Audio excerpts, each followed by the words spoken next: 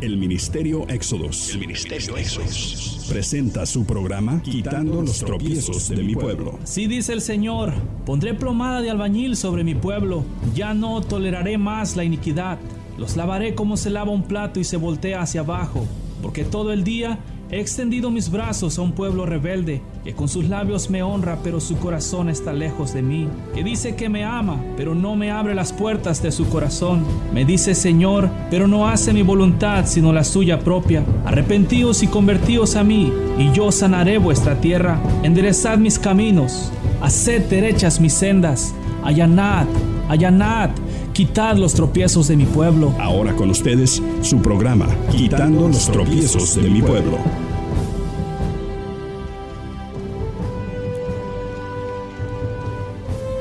Ciertamente más rudo soy yo que ninguno, ni tengo entendimiento de hombre. Yo ni aprendí sabiduría, ni conozco la ciencia del santo. ¿Quién subió al cielo y descendió? ¿Quién encerró los vientos en sus puños? ¿Quién ató las aguas en un paño? ¿Quién afirmó todos los términos de la tierra? ¿Cuál es su nombre? ¿Y el nombre de su hijo, si sabes? Toda palabra de Dios es limpia. Él es escudo a los que en él esperan no seas hallado mentiroso. Dos cosas te ha demandado. No me las niegues antes que muera. No añadas a sus palabras para que no te reprenda y seas hallado mentiroso. Vanidad y palabra mentirosa aparta de mí. No me des pobreza ni riquezas manténme del pan necesario. No sea que me sacie y te niegue y diga quién es Jehová, o siendo pobre hurte y blasfeme el nombre de mi Dios. No acuses al siervo delante de su Señor, no sea que te maldiga y lleves el castigo. Hay generación que maldice a su padre, y a su madre no bendice. Hay generación limpia en su propia opinión si bien no se ha limpiado de su inmundicia. Hay generación cuyos ojos son altivos y cuyos párpados están elevados en lo alto. Hay generación cuyos dientes son espadas y sus muelas cuchillos, para devorar a los pobres de la tierra y a los menesterosos de entre los hombres. La sanguijuela tiene dos hijas que dicen, dame y dame. Tres cosas hay que nunca se sacian, aún la cuarta nunca dice basta. El Seol, la matriz estéril, la tierra que no se sacia de aguas, y el fuego que jamás dice basta. El ojo que escarnece a su padre y menosprecia la enseñanza de la madre. Los cuervos de la cañada les lo saquen y lo devoren los hijos del águila.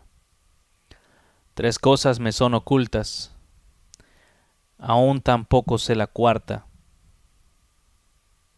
El rastro del águila en el aire, el rastro de la culebra sobre la peña, y el rastro de la nave en medio del mar,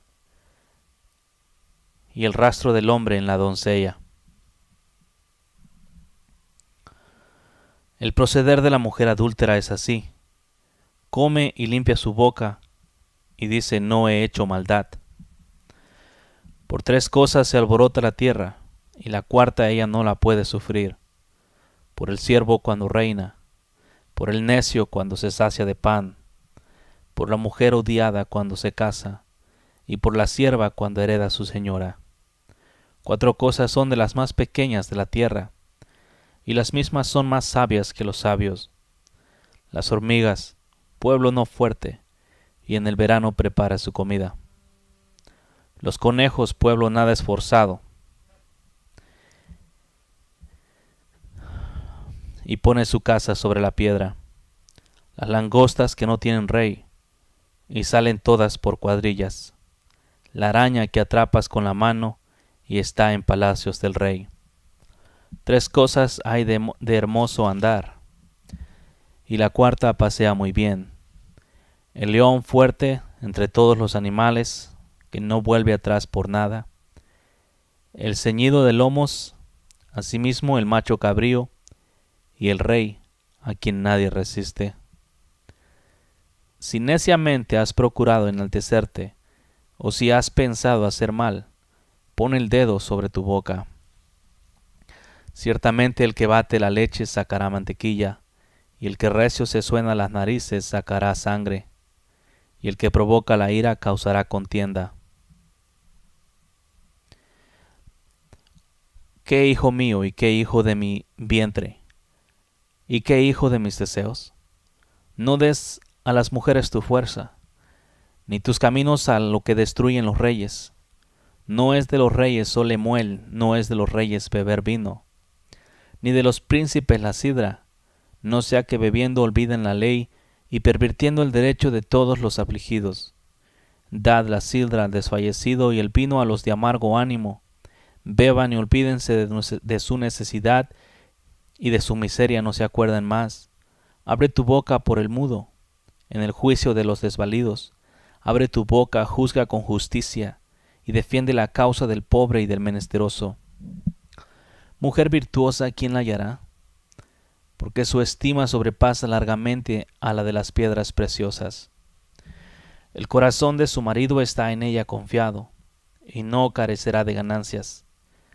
Le da ella bien y no mal, todos los días de su vida busca lana y lino, y con voluntad trabaja con sus manos. Es como nave de mercader, trae su pan de lejos, se levanta aún de noche y da comida a su familia, y raciona a sus criadas. Considera la heredad y la compra, y planta viña del fruto de sus manos. Ciñe de fuerza sus lomos y, y esfuerza sus brazos. Ve que van bien sus negocios, su lámpara no se apaga de noche. Aplica su mano al uso y sus manos a la rueca. Alarga su mano al pobre y extiende sus manos al menesteroso. No tiene temor de la nieve por su familia, porque toda su familia está vestida de ropas dobles. Ella se hace tapices de lino fino y púrpura, púrpura es su vestido. Su marido es conocido en las, en las puertas, cuando se sienta con los ancianos de la tierra. Hace telas y vende, y da cintas al mercader.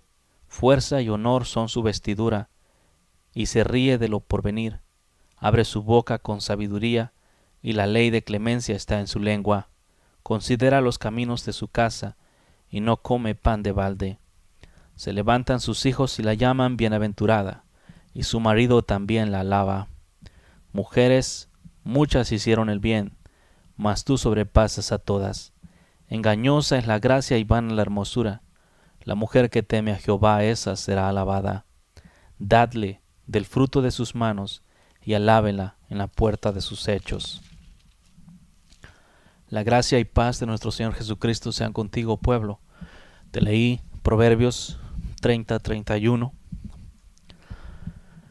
Como te había dicho y te he dicho, la palabra de Dios es, es muy buena para redarguir, para corregir, para animar, para exhortar, para que el hombre de Dios esté preparado para toda buena obra. Como siempre te he dicho, ese es el, propósito del, por el cual el Señor dejó, más que nada, por eso dejó el Señor su palabra para que nosotros la pusiésemos por obra. Fuimos llamados a eso. So a cada uno de los que estamos aquí en esta tierra nos fue dado ese grande privilegio de seguir al Señor con todo el corazón, toda la mente, toda el alma y todas las fuerzas. Por eso, vamos a continuar con lo que te estaba hablando en el libro de Santiago, del capítulo 21 en adelante, perdón, versículo 21 en, adelante, 21 en adelante, se me está aquí queriendo trabar la lengua. Santiago 1, capítulo 1, versículo 21 en adelante. Te estuve hablando de estas cosas las últimas veces que estuvimos aquí. ¿ok? Para que miraras perfectamente que este camino no tiene nada de religión. Aquellos que lo consideran religión es religión para ellos. Porque la religión, como todos saben, es una sarta de, de leyes ah, hechas por los hombres tienen duro trato contra la carne, pero carecen de poder en frente de Dios y del Espíritu Santo. Estas cosas no son hechas por nosotros, Dios las hace en nosotros porque nosotros en un momento dado estábamos perdidos en nuestros delitos y pecados y para aquel que esté perdido aún sabe bien que Jesucristo te ama y que Él está buscando que, venga, que vengas a Él. Cuando yo hablo de perdido, me refiero exactamente como cuando el Señor Jesucristo dijo que el que hace pecado, esclavo es del pecado. So aquellos a los cuales practican el pecado, hablo para que salgas de allí, porque Jesucristo te dio una vida eterna. Él prometió dártela si tú crees en Él. Creer en Él no significa que sepas que o sabes que Él existe. Creer en Él es obedecerlo. ¿Ok? So a todo aquel que está caminando en pecado, es esclavo del pecado, a ti te llamo para que sepas que en Cristo hay libertad, porque está escrito que si el Hijo os libertare, seréis verdaderamente libres. ¿Ok? Por lo tanto, para eso nos llamó el Señor, a libertad, no a esclavitud. Nosotros no fuimos llamados a ser esclavos. Imagínate lo curioso en estos días, si después de, de vivir en la esclavitud del pecado y venimos a Cristo y una vez en Cristo todavía se sigue con los pecados, realmente eso es muy feo. Nosotros no fuimos llamados a esclavitud, sino a libertad. Y esto, otra vez, ¿qué es libertad? Libertad del pecado. Nosotros fuimos hechos libres por la sangre de Cristo. Lo único que Dios está esperando de nosotros es que cada uno de nosotros se mantenga en esta libertad que Él mismo nos dio. Así sencillo, tan sencillo como eso, pueblo. Para que verdaderamente te des cuenta que sí, así de esa forma es. Porque Dios está buscando que se siga con todo el corazón, toda la mente, toda el alma y todas las fuerzas, pero depende exactamente de ti. Es una decisión, este Evangelio no es, como te he dicho antes, multitudinario, por decirlo así, para muchas personas. ¿Qué es? No, se malinterprete el asunto, no estoy diciendo que no es para todos, sino lo que estoy tratando de explicar es que cada uno es responsable por la forma en la que el cual tú vivas en Cristo. En la forma en la que tú sigas el Evangelio es tu única responsabilidad. Nadie más. Yo tengo responsabilidad de mi forma de vivir en frente de Dios porque yo voy a dar cuentas a Dios de cómo yo vivo.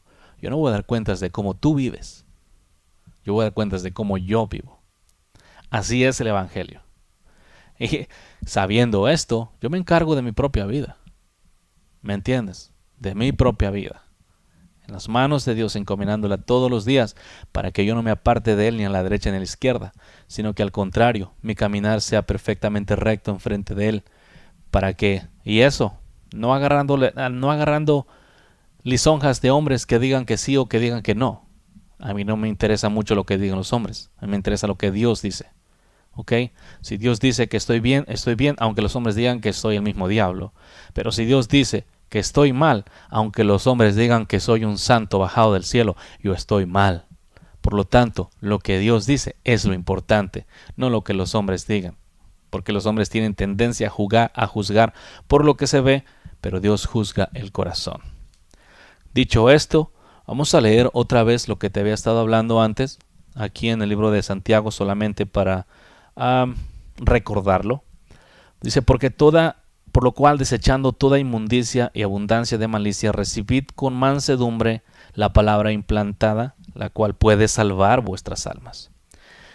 Pero sed hacedores de la palabra, y no tan solamente oidores engañándoos a vosotros mismos. Esto te lo había explicado exactamente y te lo repito. Dios no quiere gente que sea solamente oidora de la palabra. Dios quiere gente que sea practicante de la palabra de Dios, que practique la palabra de Dios, pero no a través de religión, sino que la practique por naturaleza. ¿Ok? A ver, ¿alguien forza a los higos a dar higos? ¿O a la higuera a dar uvas? Perdón, a la, higuera, a la vid a dar uvas. Ando aquí todo al revés. La, higuera da higos y la, y la vid uvas. ¿Son forzados a dar? No, es su naturaleza. Entonces, lo que Dios está buscando es que tú entiendas también tu naturaleza y que de esa forma des frutos genuinamente. No que en estos días se busca dar frutos buenos cuando el árbol es malo. En serio. Por eso el Señor dijo, no solamente ser oidores de la palabra, sino también hacedores de la misma. Como te he dicho antes, Dios está buscando amantes, amantes, que hagas y pongas por obra la palabra de Dios, pero no por ley, sino por amor. Que la palabra sea obedecida, pero no por obligaciones, porque, la, porque amas a Dios, porque te deleitas, porque es tu deleite. ¿Ok? Ahora, porque el que se considera a sí mismo, dice, porque si alguno es oidor de la palabra, pero no hacedor de ella, este semejante al hombre que se considera en un espejo su rostro natural, porque él se considera a sí mismo y se va y luego olvida como era. Mas el que mira atentamente en la perfecta ley de la libertad, persevera en ella, y persevera en ella, no siendo oidor olvidadizo, sino hacedor de la obra, éste será bienaventurado en lo que hace. ¿Ok? Vivir en esta perfecta ley. Si alguno se cree religioso entre vosotros y no refrena su lengua, sino que engaña su corazón, la religión del tal es vana. El corazón de los hombres quiero que sepas que puede ser engañado. Dios dijo sobre todas las cosas guardadas, guarda tu corazón. Tu corazón es engañado cuando tú crees que estás bien y le haces creer a tu corazón que estás bien porque en estos días, otra vez, el engaño que existe en el corazón de los hombres en estos días es que los hombres creen que son hijos de Dios mientras hacen iniquidad. Eso no es, no puede ser así en el reino de Dios. Las higueras dan higos, las vids dan uvas, por lo tanto, las, las no dan higos ni las, ni las higueras uvas. Así que cada árbol da según el fruto. Lo que sale de tu corazón, eso es lo que tú eres. Tú puedes decir que eres el último santo más santo que existe en la tierra. Pero si tú de tu corazón están saliendo malos pensamientos, malas obras, malas acciones, malas palabras, créeme, te estás engañando a ti mismo. No puede el árbol bueno producir frutos malos, punto. El hombre se engaña y piensa que la carne es una cosa y el espíritu es otra cosa y que si la carne está contaminada el espíritu puede estar santo. No. Tiene que haber una unificación. Jesucristo es tres veces santo, ¿verdad? Es santo en el alma, santo en el espíritu y santo en la carne. Nosotros también tenemos que ser tres veces santos, santos en el espíritu que Dios nos dio, por eso nos lo dio Dios, porque ese santo, el alma tiene, es santificada y la carne tiene que ser santificada a través de las obras del el alma. ¿Ok? De esa forma la carne es santificada. La carne es simplemente la masa, es el instrumento que sirve para hacer obras de justicia en esta tierra. Pero el alma es la cual el Señor limpia y esa es la cual produce el, adentro de ella el Señor el querer como el hacer y el deseo de justicia sale hacia afuera. Por lo tanto, el del corazón, ya sea lo bueno o lo malo, de ahí sale. Así que la religión pura y sin mácula delante de Dios, como te había dicho el Padre, es esta, visitar a, la, visitar a los huérfanos y a las viudas en sus tribulaciones y guardarse sin mancha del mundo. Esa es la, la verdadera religión. También te leí Santiago 2, 22, el cual enseña, ¿no ves que se efectuó juntamente con las obras? ¿No ves que la fe actuó juntamente con las obras y, y que la fe se perfeccionó por las obras? ¿Ok? Como te había estado hablando, una fe sin obras es muerta. Si tú crees que eres santo y vives como hijo del diablo, está muerto el asunto. Si tú crees que eres santo, ahora vive como santo. Entonces, de esa forma, tu fe y tus obras, tu fe es perfeccionada por tus obras y tus obras son perfeccionadas por tu fe. ¿Ok? Yo porque creo, hago. ¿Ok? Entonces, ese es el plan.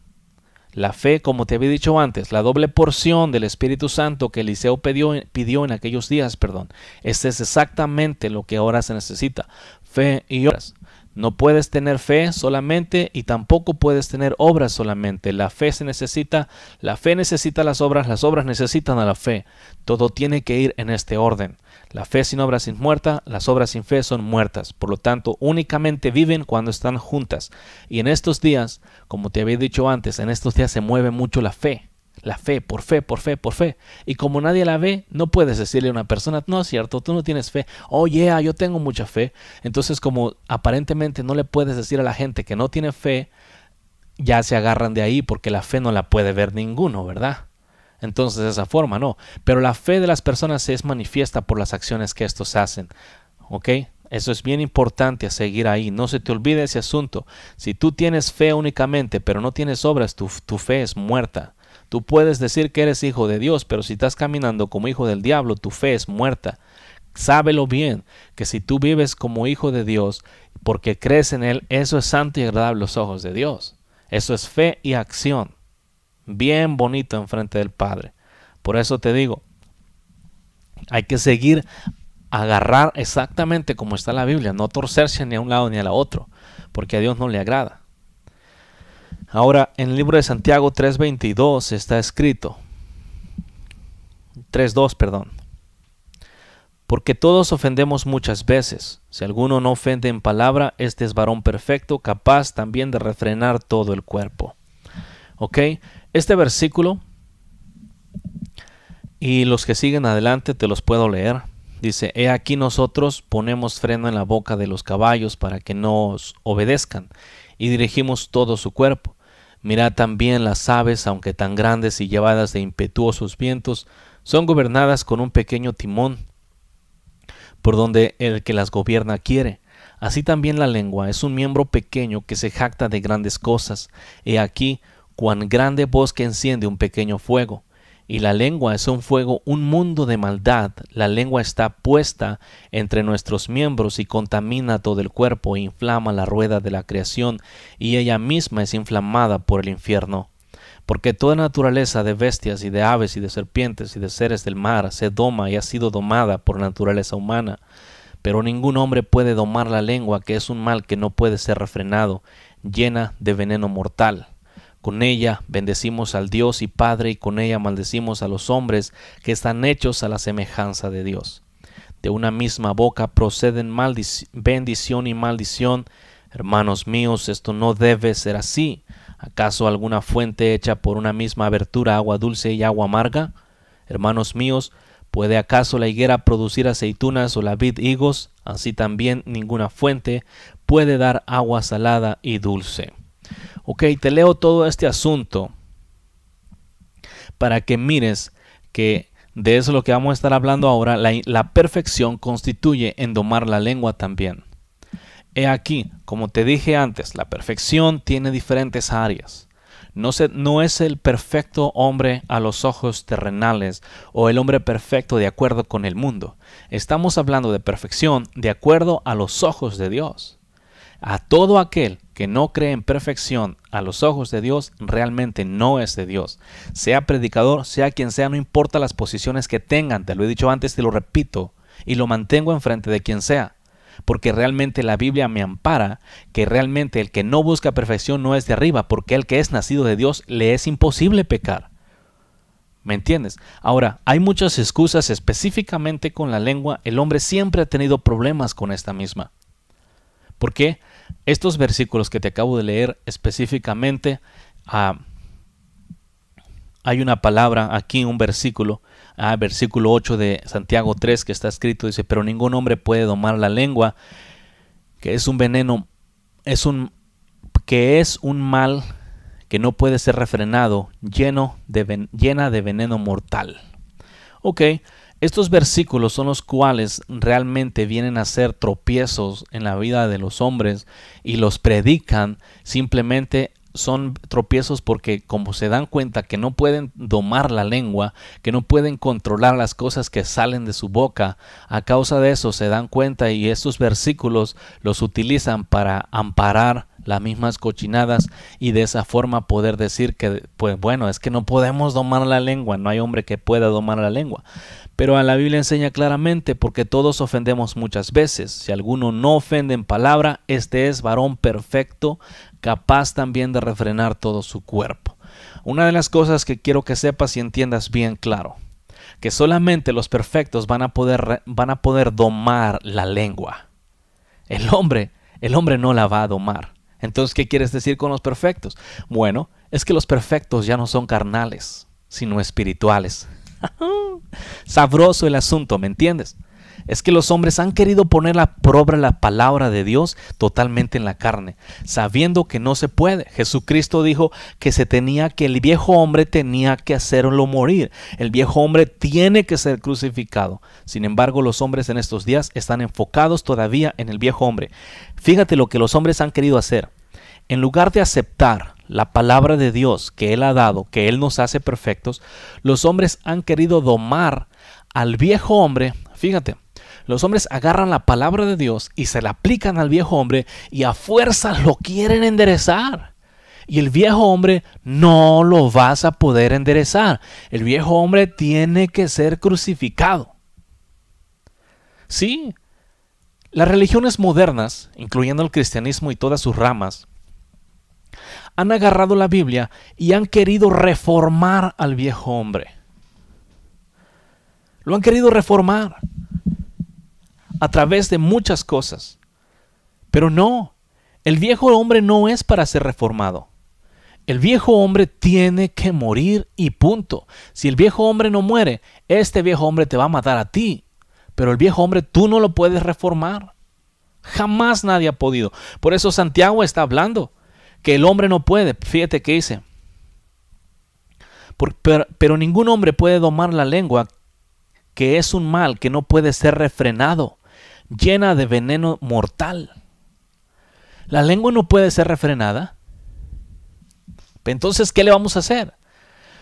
Lo bueno de este asunto es que la lengua es crucificada junto con el viejo hombre. Y cuando el nuevo hombre nace, este nuevo hombre nace con una lengua santa. No se trata de refrenar la lengua, sino se trata de reemplazar con un muerto con un vivo. El viejo hombre tiene que morir porque el viejo hombre aprendió muchas malas mañas, el viejo hombre pecó, el viejo hombre hizo mucho malo. Por lo tanto, el viejo hombre tiene que ser crucificado para que el nuevo hombre pueda vivir. Ahora, este nuevo hombre que es nacido de Dios, este ya no viene con una lengua cochina. Este nuevo hombre viene con una lengua igual a la de Dios.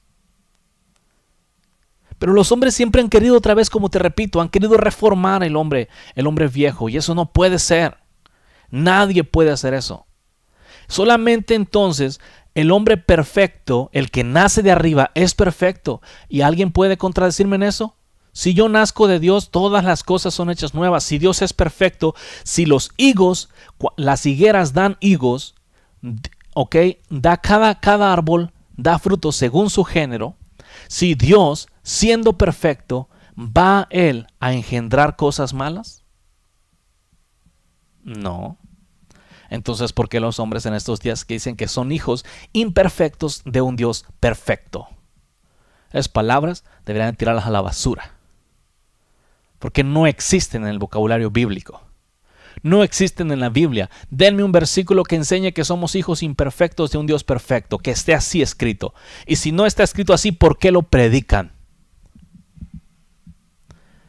¿No se te ha dicho que no te apartes de la palabra ni a la derecha ni a la izquierda? Y entonces, ¿por qué lo haces? ¿Simplemente porque cabe con tu descripción?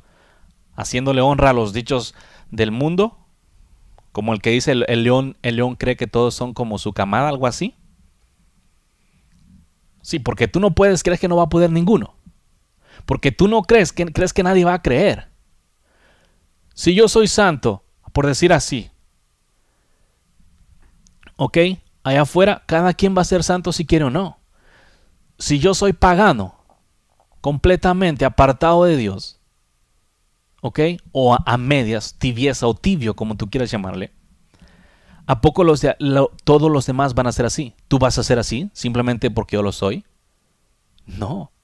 Pero sin embargo en estos días las religiones modernas así siguen. Oh, es que el predicador hace mal y pues todo mundo hace mal. Tienes que reaccionar, pueblo, y darte cuenta que tu propia vida es la que está en fuego. Tienes que darte cuenta. Si los hombres dicen que no pueden refrenar la lengua, pues estudia la Biblia y te vas a dar cuenta que sí se puede. La lengua no se refrena, se muere y se te da otra nueva forma de vivir en frente de Dios. Como te he dicho, los hombres quieren crucificar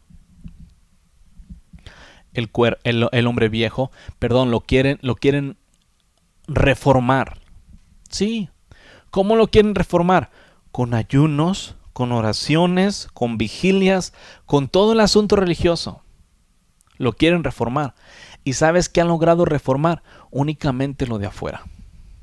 Únicamente lo exterior lo han logrado reformar porque lo de adentro sigue siendo podredumbre y hueso de muertos. Lo de adentro sigue siendo cochino. Y Jesucristo, mi Señor, dijo, limpiad el vaso de adentro por primero y quedará limpio por fuera, por fuera, perdón. ¿Qué les dijo? Hipócritas, limpiad lo de adentro del vaso primero y quedará limpio por fuera. Así pero en estos días se quiere reformar el viejo hombre, el mañoso, el que está infectado de males, el que está viciado a hacer lo malo. Se quiere renovar a ese. Y ahí encuentra la grande pelea. Y muchos se han, han doblado las manos y han aceptado la iniquidad antes de hacer crucificar a ese viejo hombre. El viejo hombre tiene que ser crucificado. Jesucristo dijo a Abraham, no puede el hijo de la esclava heredar con el hijo de la libre. Tienes que echar afuera al hijo de la esclava. Y si tú no echas afuera al hijo de la esclava, pueblo, tampoco vas a poder. Perfecto es, de acuerdo con el diccionario, que está pleno, ¿ok? Que está completo. Que cuando se aplica a una persona significa íntegro. Que está completamente, o sea, pleno. Y te voy a decir algo. Los hombres creen que van a alcanzar la verdadera plenitud cuando están con Dios ahí arriba. Yo te voy a decir, en cuanto a, las semillas de raíz, por ejemplo, las semillas de como del Espíritu Santo, nos fueron dadas. Cuando tú primero vienes a Cristo, eres hecho perfecto porque el Señor te da todo lo que necesitas para vivir en esta tierra una vida santa, recta y agradable a los ojos de Dios. ¿Ok? Ciertamente el nivel de perfección va a ir subiendo a medida de que tú vayas obedeciendo y obedeciendo y obedeciendo. Está bien claro. El Señor nos... Él dijo, he aquí yo hago todas las cosas nuevas. Y cuando dice todas las cosas nuevas, Él no, no renovó, no reformó como los cristianos modernos han reformado a través de los años. Reformando las cosas. Ah, no le gusta eso, le voy a cambiar. No, Jesucristo mató al viejo hombre y puso uno nuevo. He aquí yo hago todas las cosas nuevas. Yo hago todas las cosas nuevas. Eso significa que cuando un hijo del diablo viene a Dios porque se le concede el arrepentimiento, ya no es hijo del diablo, sino ahora es hijo de Dios. Así sencillo. Entonces está bien fácil este asunto. Solamente es cuestión de digerirlo y de no buscar versículos en la Biblia que no se entienden como excusa para seguir quebrantando los mandamientos, como todo esto que te acabo de leer. ¿Sí? hablando de la lengua, el versículo 6, Santiago 3, Así también la lengua es un miembro pequeño que se jacta de grandes cosas. Y aquí cuán grande bosque enciende un pequeño fuego. Y eso es verdad. Tú puedes encender un, un fuego con un cerillo, pero tomaría mucha agua para apagarlo. ¿Me entiendes? Ahora, Dice, y la lengua es un fuego, un mundo de maldad. La lengua está puesta en nuestros miembros y contamina todo el cuerpo, inflama la rueda de la creación, y ella misma es inflamada por el infierno. Porque toda naturaleza de bestias, de aves y de serpientes y de seres del mar se doma y ha sido domado por la, la naturaleza humana. Pero ningún hombre puede domar la lengua, que es un mal que no puede ser refrenado, llena de veneno mortal. Ahora versículo 9. Con ella bendecimos al Dios y Padre y con ella maldecimos a los hombres que están hechos a la semejanza de Dios. De una misma boca proceden bendición y maldición. Hermanos míos, esto no debe de ser así. Ok, si Santiago sabía, Santiago claro que sabía por qué le estaba diciendo. Él fue el que dijo, ok, ningún hombre puede domar la lengua que es un mal que no puede ser refrenado lleno de veneno mortal. Este fue el que dijo y este fue el también que dijo en el versículo 10. De una misma boca proceden bendición y maldición. Hermanos míos, esto no debe de ser así. ¿Por qué Santiago estaba dando un consejo? Primero estaba diciendo, ¿saben qué? Olvídense de la lengua, amén. No podemos domar, refrenar esa lengua. Y si tú no puedes refrenar, refrenar la lengua, si tú sabes que no podemos, es como yo ahorita diciéndote, ¿sabes qué? La, la lengua es eso, no la podemos refrenar. Entonces, ¿por qué te voy a, a, redarguir después de que no puedes bendecir a Dios y maldecir a tu prójimo con la misma lengua? ¿Qué dijo? Esto no puede ser así. ¿Acaso puede una fuente hecha, puede alguna fuente hecha por una misma abertura, puede acaso alguna fuente, acaso alguna fuente hecha por una misma abertura agua dulce y amarga? Hermanos míos, ¿acaso la higuera produce aceitunas o la vid higos? Así también ninguna fuente puede dar agua salada y dulce. ¿Qué quiere decir? Que de tu boca no pueden salir malas palabras y buenas palabras. Pero entonces, ¿cómo es que si, si no pueden salir, cómo es que voy a hacerle yo para verdaderamente refrenar mi lengua? Si la Biblia misma dice que yo no puedo refrenarla, estoy condenado a vivir una vida hablando cosas buenas y malas al mismo tiempo. Pero al mismo tiempo, este Santiago me dice, hey, no puede ser así. Tú no puedes vivir una vida sacando bendición y maldición de tus propios labios. Simplemente no. Entonces, ¿qué vamos a hacer? Bueno, es que parece que la Biblia se contradijera a sí misma. Por eso la gente en la carne no la puede entender, porque la palabra misma es tropiezo. Para aquellos que de corazón no quieren seguir a Cristo, es tropiezo. Lo que está hablando el Señor, la lengua no puede ser refrenada. Pero nosotros no fuimos llamados a refrenar la lengua. Nosotros fuimos llamados a crucificar el viejo hombre. Y con ese viejo hombre se va la lengua carnal porque ni modo que se le arranquen y luego lo crucifiquen, ¿verdad? Pero nosotros nacemos de arriba y el hombre interior, el hombre espiritual, trae su propia lengua. Por eso eh, también él fue el que dijo, si alguno no ofende en palabra, este es varón perfecto, capaz de refrenar todo su cuerpo. ¿A ¿Ah, verdad? Ah, ok, así funciona. Yo crucifiqué mi viejo hombre carnal. El viejo hombre carnal es el, ni más ni menos, no es tu carne. ¿Ok? El viejo hombre carnal no es tu carne. El viejo hombre carnal son las mañas, los deseos que crucifican, que aprendiste, por decir así, perdón, los que aprendiste en el camino, todo lo malo, lo que aprendiste, Eso es el viejo hombre. Como por decirlo así, el alma contaminada, para entenderlo más bien. So, todo lo malo es crucificado. Los deseos y concupiscencias. Todo y uno nuevo te es dado. Este viene de arriba. Este no es carnal y no se deleita en las cosas carnales. O, el Espíritu Santo se deleita en las cosas carnales. Se deleita en la injusticia. El espíritu carnal se deleita, el espíritu de Dios se deleita, perdón, en la inmoralidad sexual. El espíritu de Dios se deleita en, en lo que es lascivia, lujuria, codicia. Se deleita en la injusticia, en la impiedad. No.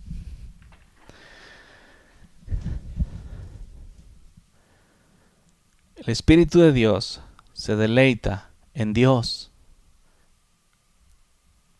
Y el viejo hombre se deleita en la carne.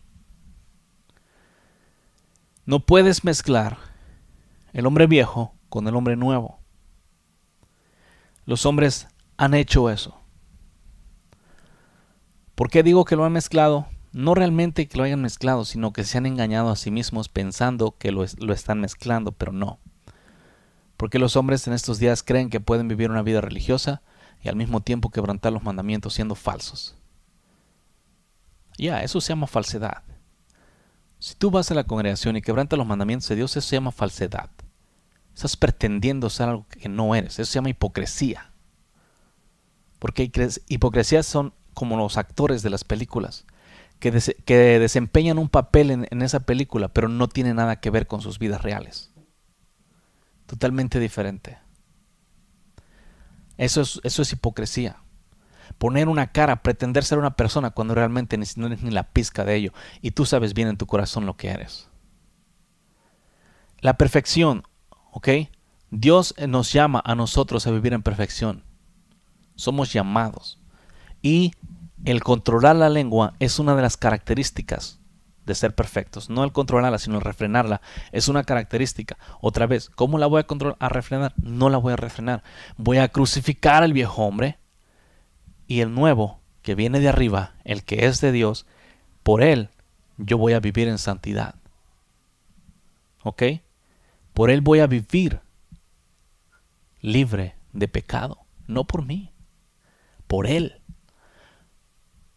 por su misericordia. Ahora, primera de Juan, capítulo 2, versículo 5. Vamos a mirar unos versículos aquí que están tumba becerros. Ahora, Juan, primera de Juan, capítulo 2, Ay, te voy a leer el uno para de una vez tumbar ese becerro aunque ya lo he tumbado antes. Hijitos míos, estas cosas os escribo para que no pequéis. Y si alguno hubiere pecado, abogado tenemos para con el Padre, a Jesucristo el justo. Y Él es la propiciación por nuestros pecados, y no solamente por los nuestros, sino también por los de todo el mundo. ¿Ok? Y en esto sabemos que, que nosotros le conocemos, si guardamos sus mandamientos. El que dice, yo le conozco, y no guarda sus mandamientos, el tal es mentiroso, y la verdad no está en él. Pero el que guarda su palabra, en éste verdaderamente el amor de Dios se ha perfeccionado. Por esto sabemos que estamos en él. El que dice que permanece en él, debe andar como él anduvo. Hermanos, os escribo un mandamiento nuevo no os escribo un mandamiento nuevo, sino el mismo, el mandamiento antiguo que habéis tenido desde el principio. Este es el mandamiento antiguo. Este mandamiento antiguo es la palabra que habéis oído desde el principio. Estas mismas cosas que Pablo, eh, que este Juan está diciendo aquí, es lo que siempre ha estado ahí. Simplemente se los estaba como revelando más. Ok, el primer versículo que sirve para tropiezo junto con el otro es Hijitos míos, estas cosas os escribo para que no pequéis, y si alguno hubiere pecado, abogado tenemos para con el Padre, a Jesucristo el justo. ¿Qué dice? Este versículo es el que utilizan para tapar su cochinada más y más. Esto, es, esto se llama alebucia y ventaja, como te estaba diciendo antes. Es estas cosas os escribo para que no pequéis. Dios te escribe para que no peques. Si llegas a pecar, tienes abogado. Pero lo primero es que no peques. Dios no te da en ningún momento dado la libertad para que tú quebrantes sus mandamientos. ¿Ok? Vamos a decir, ahí no pusiste toda tu atención, no estuviste alerta X, quebrantaste un mandamiento por propia negligencia, como siempre sería. Ok, está bien, hay abogado. Pero con tal preparación que nosotros tenemos, realmente es bien difícil que un hijo de Dios peque. Hay tentaciones, no te voy a decir que no. El diablo anda tentando todo el tiempo. A mí me tienta a cada rato. Pero ¿qué le voy a decir? Ok, me la voy a comer. Vete de mí, Satanás. Estoy muerto al pecado. No es pecado que el diablo me tiente. El pecado es que yo caiga en su tentación. Ese es el pecado. Y en estos días los hombres muchos consideran que es pecado ser tentado. Y ya cuando son tentados, piensan que ya a causa de eso, pues ya, ya pecaron. Y ya, pues como ya pecaron, pues de una vez le dan vuelo a la hilacha y se tragan el demás pecado. No, el diablo tentó al Señor Jesucristo, pero el Señor Jesucristo no pecó. ¿Cómo lo tentó? ¿Qué es tentarlo? Si eres hijo de Dios, di que estas piedras se, estas piedras se conviertan en pan. Lo estaba tentando. A ver, a ti cuando tú eres tentado a quebrantar los mandamientos de Dios, el diablo te está tentando. Entonces, no es que los hayas quebrantado, es que el, diablo te está tentando para que los quebrantes. Pero nosotros siempre sabemos cuándo. El Señor dijo que no permitiría que fuéramos nosotros cargados con una carga que no pudiéramos llevar. ¿Ok? Por lo tanto, de esa forma, aquí este versículo no te está dando una libertad para que tú andes quebrante y quebrante y quebrante mandamientos. El Señor dijo, estas cosas os escribo para que no pequéis. ¿Ok?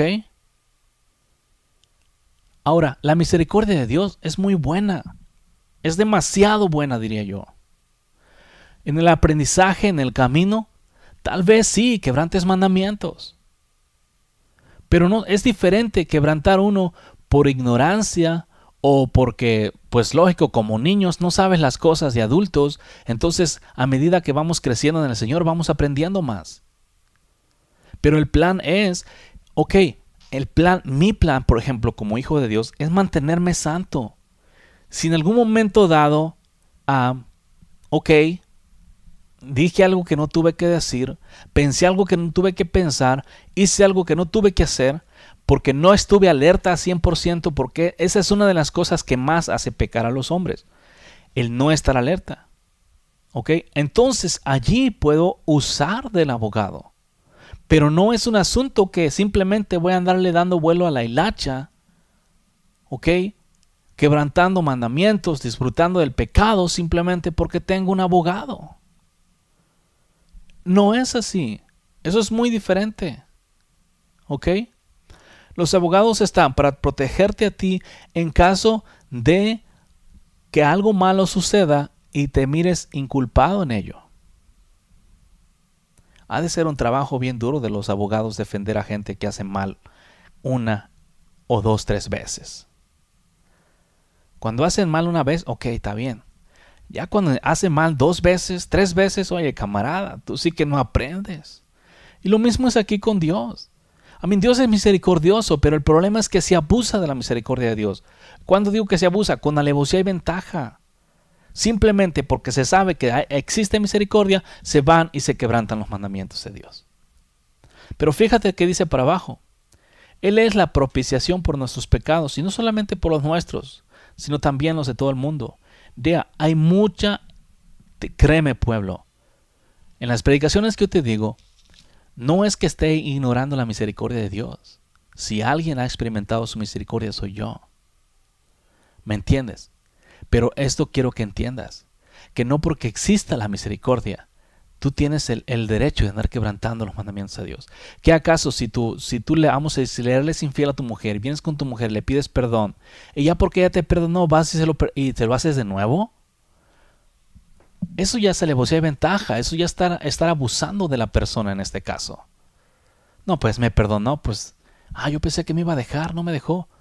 Ah, entonces le voy a poner el cuerno de nuevo y ya nomás le pido perdón y ya. Va a llegar un día en que ya no lo va a hacer.